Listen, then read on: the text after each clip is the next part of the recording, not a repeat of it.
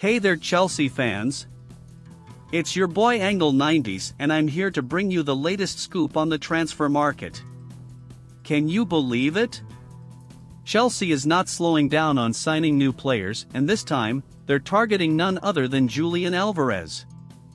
You heard that right. The 23 year old Argentine striker is unhappy with his current situation at Manchester City, and according to Sky Sports, he's ready to join the Blues. And you know what's even more exciting? Our newly signed player, Enzo Fernandez, is playing a big role in bringing Julian to Stamford Bridge.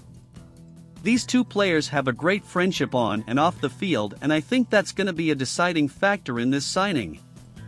Now, let's talk about Julian Alvarez.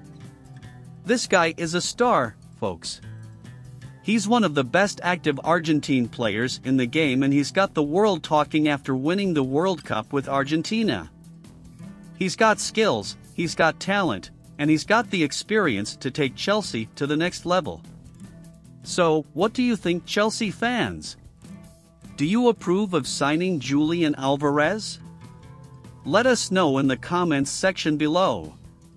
And don't forget, if you like this video, give us a thumbs up, hit that subscribe button and turn on those notifications so you don't miss out on any of our latest updates. Alright, that's it for today. Thank you for tuning in and I'll see you all in the next video. Keep being awesome, Blues.